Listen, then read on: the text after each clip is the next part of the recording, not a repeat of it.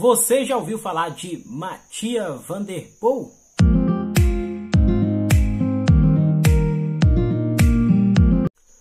Fala aí pessoal, como é que vocês estão? Sejam bem-vindos aqui ao Bike no Topo e hoje a gente vai contar aí a história do Mattia Van Der Poel. E esse é um novo quadro que eu estou iniciando aqui no canal, aqui no Bike no Topo, que se chama História dos Atletas. E eu escolhi primeiramente aí, eu fiz meio que um sorteiozinho, coloquei o nome de alguns atletas, e o primeiro foi o Van Der Poel. Não é o ciclista que eu mais admiro, mas é um dos mais. É o segundo, para ser mais específico. O primeiro é o Avancini, pelo que ele já fez pelo Brasil, pelo que ele já fez também para o crescimento do nosso mountain bike. Mas hoje a primeira história deste quadro novo aqui do canal vai ser do Matia Vanderpool, ou só Vanderpool como a maioria conhece. Bom, então vamos iniciar a nossa história aqui. Esse cara que está aparecendo na tela aí, Matia Vanderpool, nasceu no dia 19 de janeiro de 1995. Ele é um dos maiores atletas em atividade que existe hoje no mundo. É um dos atletas mais potentes que nós temos hoje em várias modalidades. Porque Mathieu Van Der Poel é muito forte no mountain bike, no ciclismo de estrada e no cyclocross. E de que Mathieu Van Der Poel é um dos maiores ciclistas do mundo e da história que já teve, ninguém tem dúvida. E não é à toa que ele chegou onde está hoje só por chegar. Ele é um cara dedicado, mas que também já vem de uma família de ciclistas profissionais, isso mesmo.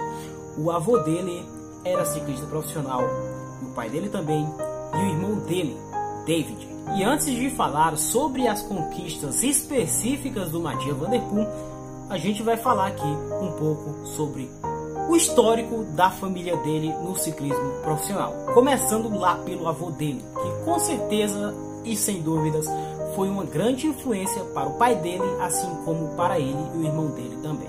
O avô de Mathieu Van Der Poel era Raymond Polidor, era um dos maiores ciclistas que tinha na época dele. Raymond Polidor venceu a Volta da Espanha no ano de 1964 e foi três vezes vice-campeão do Tour de France. Imagina aí, enquanto alguns atletas passam toda a sua vida buscando ganhar apenas uma etapa do Tour de France, porque é uma das coisas mais difíceis que tem no ciclismo, o cara foi três vezes vice-campeão. E talvez você imagine, mas por que, que ele foi três vezes vice e não conseguiu ser campeão? Bom, isso é um fato que é bem simples de explicar.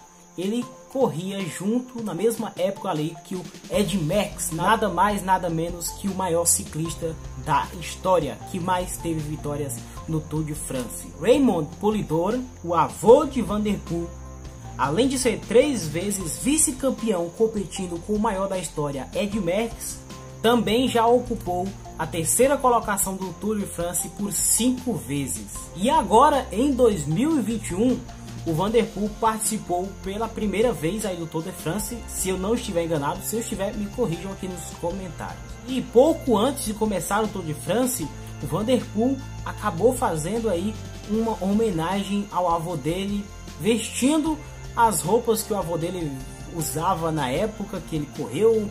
É, tipo, ele fez um, uma caracterização para homenagear o avô dele e falou em uma publicação no Instagram. Seria muito bom que você estivesse aqui hoje, algo mais ou menos assim. E até o próprio Ed Max elogiou essa ação do Matia Vanderpool.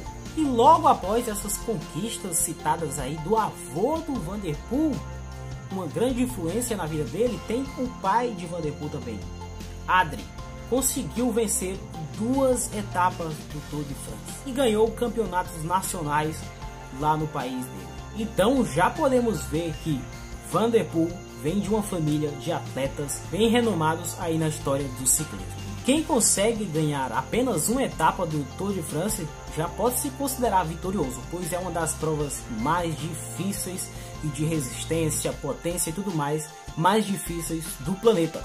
Para você ter noção, apenas um brasileiro conseguiu este feito lá em 1991 na nona etapa do Tour de France, o Mauro Ribeiro. E como falado anteriormente também, o irmão chamado David Vanderpool, irmão de Matia Vanderpool, é atleta profissional. E caso não me engano, ele já foi campeão da Sub-23 lá do país dele. Acho que é Holanda, Bélgica, alguma coisa assim. E finalmente aqui vamos falar sobre as conquistas de Matia Vanderpool. E só ressaltando que Matia Vanderpool não participa de apenas uma modalidade do ciclismo, mas sim de várias, como cyclocross, ciclismo de estrada e mountain bike. Se tiver mais alguma, comenta aí. Os títulos que Matia Vanderpool possui no cyclocross: Mundial de 2015, 2019, 2020 e 2021. Possui também o Campeonato Europeu de 2017 e 2020. Também tem o Campeonato Nacional lá do país dele de 2015 e 2020. E no mountain bike, Mathieu Van Der Poel é campeão europeu do ano de 2019 e nacional no ano de 2018. Recentemente, como eu falei, o Vanderpool entrou para o Tour de France. Ele não participou até o final. Ele participou de algumas etapas, caso não me falhe a memória, nove etapas ou oito, oito ou nove. Me corrija também, se você acompanha o Tour de France. Inclusive, eu queria abrir esse espaço rapidinho, porque o Tour de France acabou recentemente e eu acompanhei lá pelo Power Link Bike. Tem o Samuca lá, ele fez a cobertura completa, o resumo de todas as provas. E eu acompanhei essa trajetória do Vanderpool e de outros atletas aí por lá. Então eu vou deixar o link do canal dele aqui abaixo e você pode ver lá os vídeos sobre o Tour de France 2021. Então, pela primeira vez, Vanderpool participou do Tour de France e já saiu destruindo. Lançava vários ataques ali durante as etapas, conseguiu abrir fugas e venceu algumas etapas lá. Se ele tivesse ficado até o final, eu não sei se ele seria campeão, até porque quem briga por vitória de etapas não significa que vai ser campeão geral, mas ele estaria certamente entre os primeiros ali. Mas ele decidiu sair antes de terminar o Tour de France, que caso não me falhe a memória novamente, são 20 etapas ou algo desse tipo, mas o Vanderpool acabou optando por sair antes para se preparar para as Olimpíadas. Se você ainda não está ligado nas Olimpíadas, vão acontecer no dia 26 de julho de 2021, referente ao ano de 2020, lá em Tóquio, no Japão, especificamente de mountain bike. Então você não pode perder a transmissão vai ser por algum lugar aí, Red Bull, não tenho certeza, mas depois eu posso trazer para vocês. Então, alguns atletas deixaram de participar de várias competições para se preparar especificamente para os Jogos Olímpicos de Tóquio. Por exemplo, o nosso grande Henrique Avancini deixou de participar de algumas etapas da Copa do Mundo de mountain bike para se preparar para os Jogos Olímpicos. E eu, sinceramente, de coração, estou torcendo para o Avancini. Então veremos o que esses atletas irão fazer aí nos Jogos Olímpicos. Vanderpool, Avancini, Lino Schurter, todos esses grandes nomes do mountain bike mundial. Vanderpool é um cara que é apaixonado pelo mountain bike, ele mesmo já falou, mas ele é um cara muito versátil, ele está em tudo, além de ser um dos caras com maior potência que existe no mundo. E tem uns testes que a galera faz lá, se eu não me engano, o FTP, me corrijam novamente se eu estiver errado. Ele é o, acho que bateu o recorde aí recentemente. Geralmente quem tem essa característica de alta potência, de muita explosão, são pessoas que se dão muito bem nas etapas de XCC da Copa do Mundo, que geralmente é um percurso ali bem pequeno, de um quilômetro, que dão várias voltas, geralmente dá 20 minutos, ele sempre está ali na disputa, brigando pelas primeiras colocações. E uma coisa muito bacana é que ele já falou, acho que numa entrevista, não lembro bem, que o Avancini é um dos maiores adversários dele nas provas de XCC.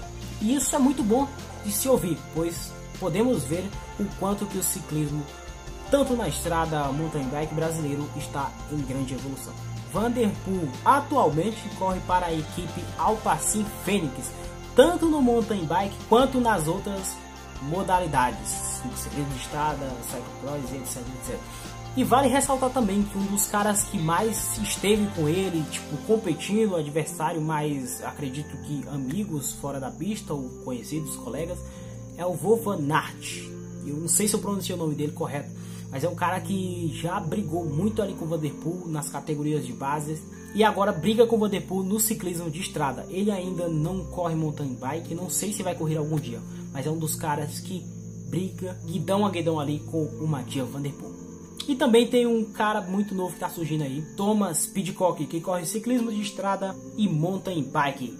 E nas últimas etapas da Copa do Mundo aí, em alguma etapa, eu não me lembro se foi a terceira ou quarta, Thomas Pidcock conseguiu superar o Mathieu Van Der Poel, dando, abrindo um gap muito grande no mountain bike. Thomas Pidcock é da equipe Ineos Grenadier. Van Der Poel, um cara muito novo que nasceu aqui em 1995. Já ganhou muita coisa, muitos títulos e agora vem pra, para brigar por uma medalha aí nos Jogos Olímpicos. Vamos ver o que vai rolar, pois todos estão bem preparados. E o cara é muito novo, acredito que tem muito a conquistar ainda.